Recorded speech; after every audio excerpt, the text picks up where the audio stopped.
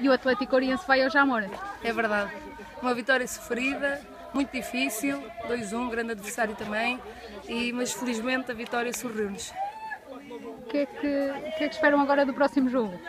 Uh, a vitória trabalhamos sempre para ganhar. Temos o próximo jogo é de campeonato. Uh, com a vitória do último jogo estamos a dois pontos e só nos interessa a vitória no próximo jogo. Foi mudar a história em relação ao ano passado, à época foi, passada? claramente. O ano passado foi uma sensação horrível não, não poder estar na final. Uh, ter caído ali na meia final e este ano uh, felizmente conseguimos. O que, é que, o que é que correu menos bem no jogo? Uh, penso que ali na primeira parte baixámos ali um bocadinho os níveis de agressividade no meio e aí começamos a perder o meio campo que é fundamental no jogo. Penso na segunda parte, com o intervalo, o Mister pediu-nos para termos mais atitude ali no meio, mais agressividade começámos a ter essa atitude e essa agressividade e conseguimos uh, controlar melhor o jogo e dominar melhor o jogo. E penso que na segunda parte tivemos melhor do que na primeira parte.